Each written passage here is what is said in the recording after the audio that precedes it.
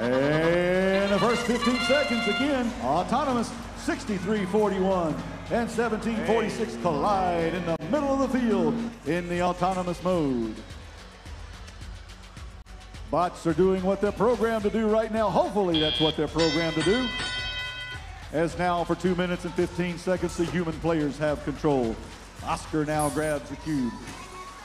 63.05, 69.05, place the cube on the switch, gaining control of the switch. One point per second for the Red Alliance says 17.46.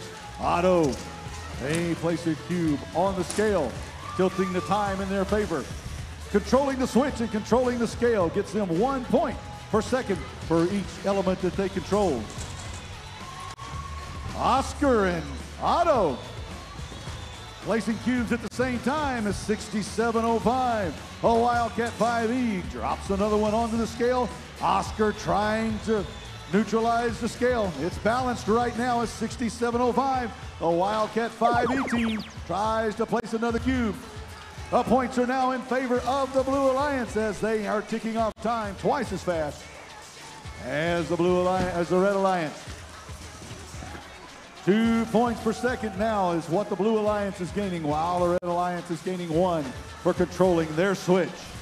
The Red Alliance trying to neutralize the switch for the Blue Alliance. 63-41, that's the Electric Eagles from Etowah High School. They're trying to place a cube onto that switch, trying to neutralize the flow of electrons. To the Blue Alliance. As action continues, 69.05 spins around in the Red Alliance.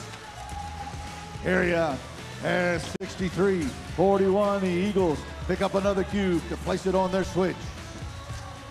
The Blue Alliance solidly in control of their switch, and they have control of the scale as it's 221 to 130 with 27 seconds left to go in the match. Action continuing, fast and furious as Oscar is up on the platform, now dancing around on the platform, trying to grab a hold of the arm at the top of the platform and climb up above the brick wall for 30 points. There goes 69.05, trying to get up onto the platform as well. All the robot has to be supported by the platform. As 69.05 is dancing around, their bumpers were touching the carpeted area, so they do not get credit for five points there. Once again, the bot has to be fully supported by that platform, either the Red Alliance or the Blue Alliance platform in order to gain five points for their alliance. The referees in training, they're looking over the field, checking for any penalties or fouls that may cost some points. They can be as high as 25 points with some of them.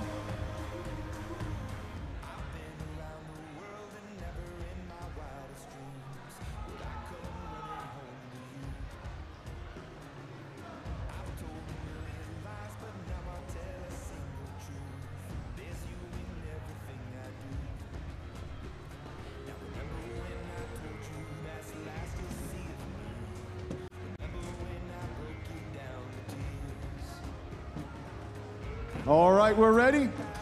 We're going to see what the final score is as it comes up.